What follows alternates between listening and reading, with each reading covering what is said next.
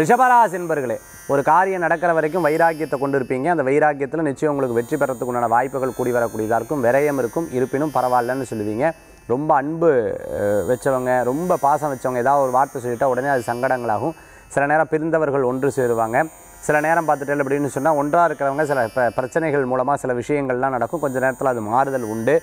மூணாவது மனுஷாலை கூப்பிட்டு எந்த ஒரு விஷயத்துக்கும் நியாயம் வந்து உட்காந்து பேசப்படாது. அது அவ்வளோ சரிப்பட்டு வராது.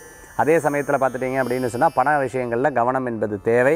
எடுத்த காரியத்தை நிறைவேற்றுவீங்க உங்களுக்கு லாபம் இருக்கோலையும் அந்த காரியத்தை முடிச்சு கொடுத்துருவீங்க. ரிஷபராசி என்பவர்களுக்குண்டான அதிர்ஷ்ட எண் இரண்டு நிற வெண்மை. வழிபாட்டுக்குண்டான தெய்வம் காமாட்சி அம்பாள் வழிபாடு வெற்றி வழிபாடு.